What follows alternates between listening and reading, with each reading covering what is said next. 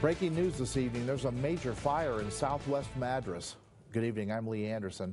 The fire on southwest Madison Street and Highway 361 was called in at 2:40 this afternoon.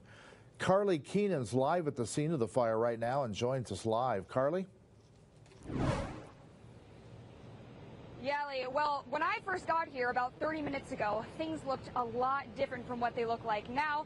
Uh, you can see the flames are basically put out, a few smoke trails still up in the air, but really the fire crews that came here on site did an amazing job in getting this fire put out very quickly. I was talking with Jeff Blake, who's the Jefferson County Fire Chief.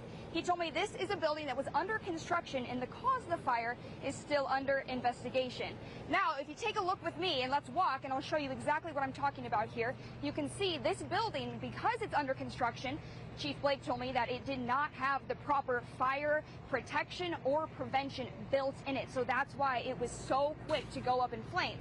Now, if you can see behind the structure, there's a little bit of a hill, and this fight was literally an uphill battle as fire crews were trying to prevent the flames from spreading over into that hill into uh, that neighborhood behind it. So uh, they had BLM out there uh, getting some lines met. People are still out there with hoses.